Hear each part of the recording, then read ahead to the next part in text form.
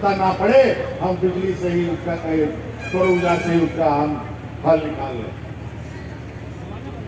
आज निश्चित रूप से सौर ऊर्जा के विषय में या ऊर्जा के विषय में, बिजली को लेकर, बिजली आज आजकल हर व्यक्ति, हर वर्ग का लोग, हर उम्र के लिए के लिए, जैसा हमें खाने की हर दिन ज़रूरत पड़ती है, जीने के लिए, उसी तरीके का बिजली का भी हालात हो गया कि बिजली नहीं रहने से कितनी परेशानी होती है, और आजकल कोरोना जैसे समस्या ने तो कई समस्याओं को उधेड़ के रख दिया।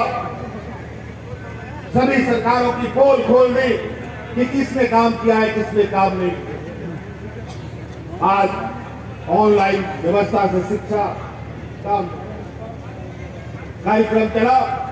लेकिन काम पहले से उसके लिए कोई आधारभूत व्यवस्थाएँ बनी रहे, तब तो हमारे बच्चे पढ़ पाए।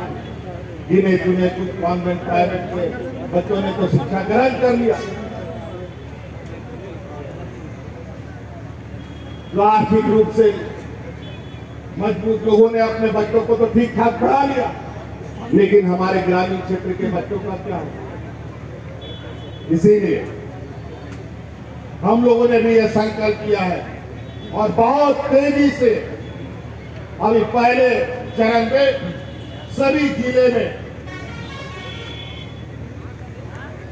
एक भव्य मॉडल स्कूल हम बना बना रहे हैं, जो हमारे इस राज्य के प्राइवेट स्कूलों से भी बेहतर होगा, जहाँ हमारा गरीब पढ़ेगा और मुफ़्त में पढ़ेगा। और हर वो सुविधा वहाँ स्कूल में उपलब्ध होगा, जो हमारे प्राइवेट स्कूल के लिए हम प्राइवेट स्कूलों को खोजते हैं। हर ज़िले में अभी पहले चरण में फिर हम ब्लॉक में जाएँगे फिर पंचायत में भी जाएँगे। निश्चित रूप से इन सब कार्य करने के लिए थोड़ा वक्त लगेगा हर क्षेत्र में समस्याएँ हैं। आज बूढ़ा बुज़ुर्ग की आज पेंशन को लेकर देखिए।